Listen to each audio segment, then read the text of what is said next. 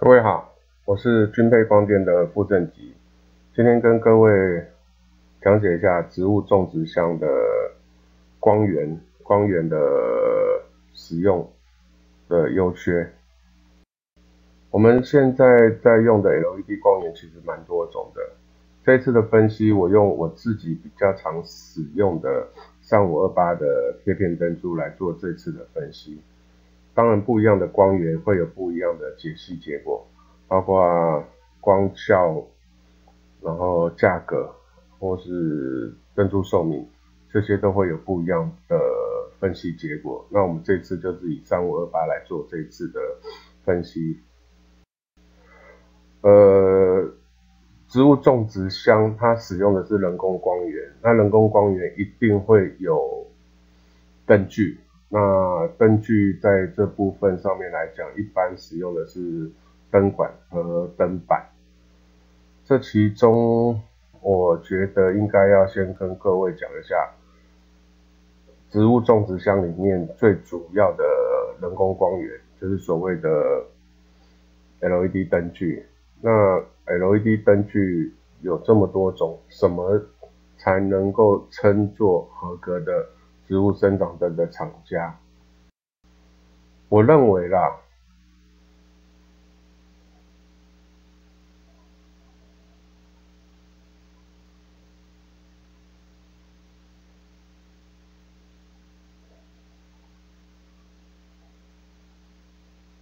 植物灯的生产厂厂商，他一定要提供这个所谓的测报。这些测报如果没有办法提供的话，对植物生长灯的采购实在是很没有采购依据的。以植物生长灯来讲，它和生物照明灯是完全不一样的。你没有办法像去买灯的时候用自己的感受来当做采购的依据。毕竟使用在植物生长的的功用上面，和我们生物对光学来讲是两。植物种植箱一般会用到的其实是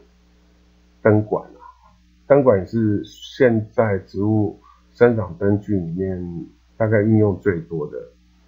其实它是因为它沿用了生物照明灯的灯具，所以它的很多的开发费用几乎都可以不用去做计算。若以现在的正规的植物生长灯厂商的报价来说，四尺的灯管大概是在四百五十块台币。这中间会区分了呃光谱的不同，但是价格大概都是在四百五的，两尺的大概是在三百八。其实很多人都会认为说两尺的价格和四尺的价格为什么没有差到一半？其实我们自己在采买的时候就真的差没多少钱。灯管的价格以五十块四尺的灯管大概五十块的话，两尺的价格大概要四十三四十五。它差就差在中间那个铝铝管的长短，那个价格差很少很少，所以以四尺的灯具和两尺的灯具上面来讲，它差距很少，就差在灯珠跟铝基板的那个费用而已，其他驱动啊跟灯具的费用上面几乎是一一样的。这个就是我们所谓的分体式灯管和一体式灯管，传统有两根针的这种灯管。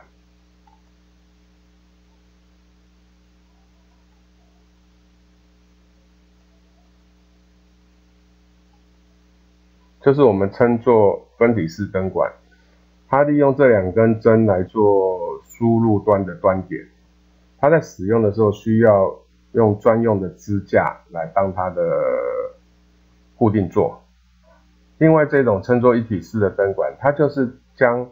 灯管和支架结合成一体的灯具造型，不用再像传统灯管需要支架才可以使用的限制。它有他们自己专用的电源线来做并入两端的供电，可以同时供电，也可以当串接的呃的插头。这种插头现在都已经很方便购买了，只是一般会分作有两段呃两头跟三头的。一般，刚才就讲到所谓的灯板啊，灯板一般都是刻字性、刻字化的产品。主要以光源模组的 LED 光源模组这种直下式照明的特性是是最亮的，所以所延伸出来的这种植物生长灯的产品，之前在在那种平板灯、格栅灯那种那种上面会用到直下式的，其他的就大概只有像像荧幕啊，荧幕也会用到。其他的很少用到直下的，因为直下的相对会比较贵，所以一般用侧光在打比较多。那这个的价格没有一定的范围的定价，因为会关乎到那个铝合金那个铝板的材质啦、厚度啦，跟它加工制成的一些报价。这边我们用比较一般在用一点五厘一点五厘米的厚度的铝板，然后做阳极处理的。呃，主动式散热灯板来做比较的基础，这就是一般我们所做所谓的灯板，它就你说穿了，它就是一块板子而已，它没有什么什么特别的构造。但是它在制作的时候，我们一般要先画类奥图，然后画好图以后再送去加工厂。那加工厂它要先把铝板的尺寸裁切出来以后，再用。绝缘漆吧，然后再喷那个电路铜板线路图，然后再做绝缘，至少要做过三层以后，然后才能来贴我们的 LED 灯珠，所以它的价格会比较，它其实不是让贵，只是说它它在做的时候会需要一定的产量，一平方米大概在三千七百块，三千五到四千块台币左右吧，呃，看厚度。跟厂家散热器的构造上面来讲，一般还是以铝合金为主啦。那我们这边以灯管来讲的话，一最好的还是使用铝合金的。不过现在的的大众消费的灯管还是以玻璃灯管为主。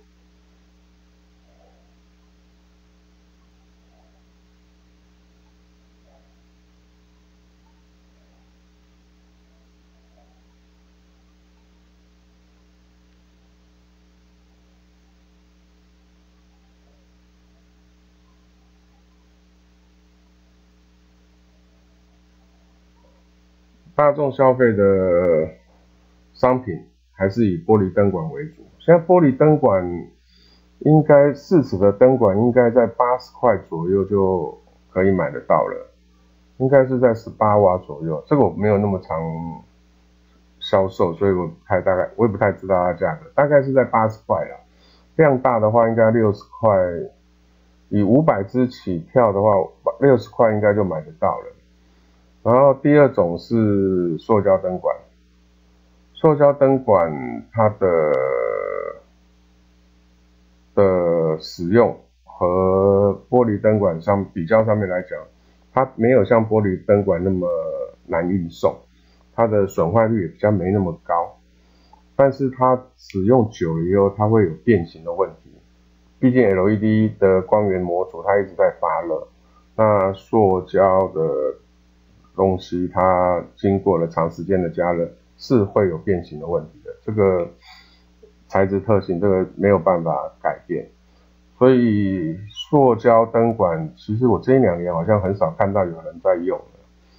大部分还是用玻璃灯管。然后第二是用铝合金的，铝合金的它现在是售价最贵的，一根保护两年的灯管，估计要在一百五左右了吧。它的优点是它的导热系数是三种灯管里面最好的，那寿命当然就会跟着比较高。那它另外一个好处就是它可以它可以有维修，它不像玻璃灯管跟塑胶灯管是不能做维修的。嗯，缺点就是贵，大概是玻璃灯管的一倍价格。我们再来讲铝合金灯板散热器，这个就没有什么特别好讲的。它就是一个刻字化的的商品，它可以最贴近你种植箱的尺寸，然后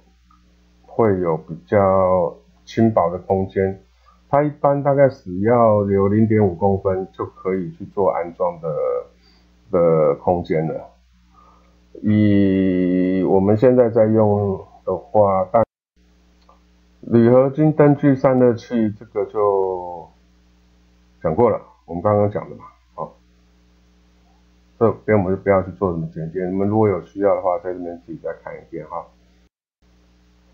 这个是灯管的外观，这个大概看一下吧，啊。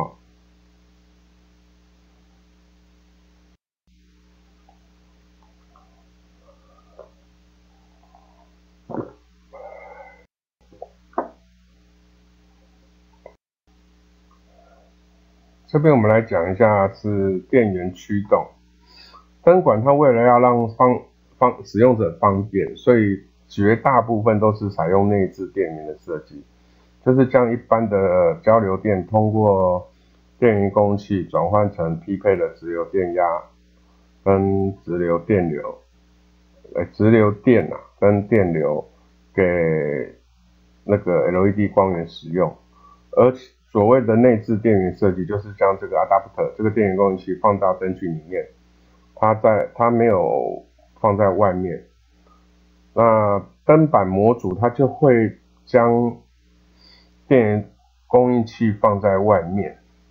当然也有那种比较低端的，它是直接打在铝板上面，但这个它对于那个突电波。突破电压的时候，它稳定度会比较不好。这个至少它现在没办法做到全电压的啦，做到它用 IC 设计的方式去做的。这个我自己用的不多，这个我就没那么了解，所以我就去讲。那目前我自己比较笨的脑袋是在想，人家做电源供应器的不是笨蛋，他干嘛做那么大一颗？那你用那么小的空间就可以做到跟人家一样？哈，我是认为不可能。那电板、电路板它的设计上面，可以因为电源供应器的改变而去做加很多功能，譬如说调光啦，或是嗯过温保护啊，这些都可以由灯板上面去做升级的的设计。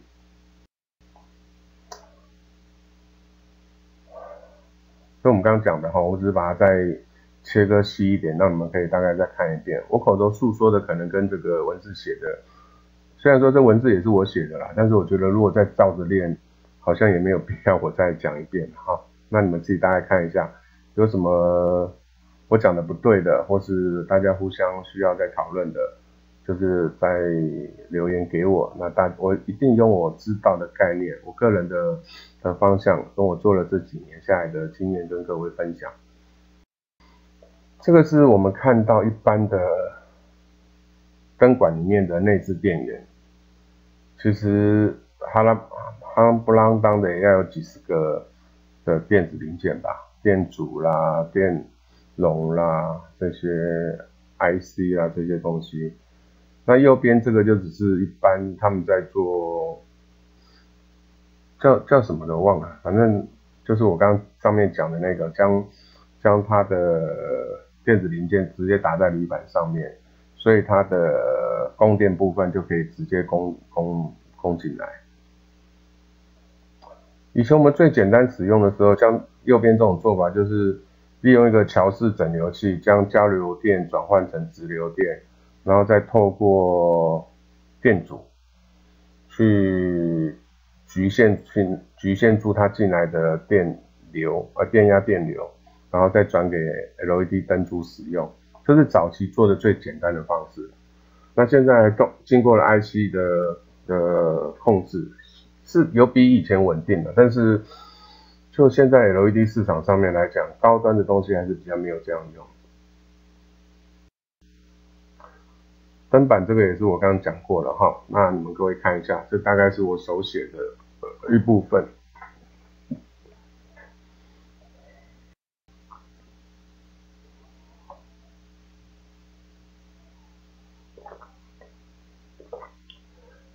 这边我们可以看到很明显的，这两个电源供应器看起来整个质感就不一样了。呃，我挑明尾出来用是啊，我自己就是用明伟的嘛，所以我就对它比较有信任感。我自己用 HLG，大概一年用个一两千颗有吧，所以平均下来三年应该故障不到十颗啦。所以他们在讲的千分之三的千分之三的这种瑕疵率，我是觉得还蛮蛮有那个稳定度的，估计一年是真的坏不到三颗啦。这是我们做的价格比较表，这个价格比较表各位就看看就好了啦。这个因为每一家每一家的售价不一样，然后呃，我就用我们自己在卖的价格，或是说我我自己推估出来的价格啦。那各位大家比较一下看一下就好哈。这两种商品的优缺点上面来讲，我自己是比较推崇使用灯板，不只是因为它的电源供气的寿命比较稳定，光源也因为散热面积比较，所以它寿命跟稳定度也会比较好。但是现在看到的植物种植箱的光源几乎都是用 LED 灯管，原因是开发灯管的费用比较便宜。那选定光好，选定好它的光谱的配比以后，几乎就没有再什么开发费用了。呃，我们现在去贴片的话，像这种混光的 LED 光源灯珠，大概零点五瓦的，应该在五毛钱，五角台币，大概就都可以买到了。那灯板的开发就复杂很多了，它可能要先画类要图，然后再自己去做铝基板的加工。然后贴片的钢板，像夯不啷当花下来，至少要花个五万块吧。而且它生产的那个量不是几十片就可以做，通常都要有，都要至少要一平方米的尺寸，它才有办法做。两者使用上的差别，大部分的使用者都会用认为说灯管它比较容易更换。因此会认为说配置灯管的种植箱其实比较好，但是灯管的散热跟驱动它都被包覆起来了，它废热的传导绝对不会比灯板好，所以它的寿命一定也没有灯板好，这就是大部分灯管寿命会做一年保护的原因。灯板看起来换装。比较不容易，实际上也就是五颗螺丝、四颗螺丝的事情，真的没有很麻烦。但是灯板采用一体化的设计，消费者在使用上通常只要用，我们都会用那个防水的那种快速插拔的那种端子来来使用，然后再再用个螺丝起子就可以换灯板了。一般我们在做灯板。我至少都可以做到三年保护了，因为驱动比较不稳定的，它都可以做到七年、五年保护，所以我整体做三年保护其实是还蛮蛮 safe 的。一般在保护期内维修的几率都不高。初期不论灯具真正的寿命，单就厂家的保护来讲，实在是用一体式的灯板是比较好选、比较好的选择。但是现在种植箱的产量实在是不够大，所以厂家大部分都会将将灯管列为第一个考量，因为毕竟开发灯板的费用实在是比较大。两相比较起来，是我如果我是种植箱的的厂家的话，我应该也是会用灯管，但是我自己的这种熟知度来讲，我还是比较推荐用灯板。所以我才会在这个时间内去去开发出这个灯板，让很多做居家成架种植的使用者，你也可以很轻松的就使用到灯板，但这个价格还是真的比灯管贵啦。那如果说你是能够比较长细算的话，我是认为用灯板子就好了。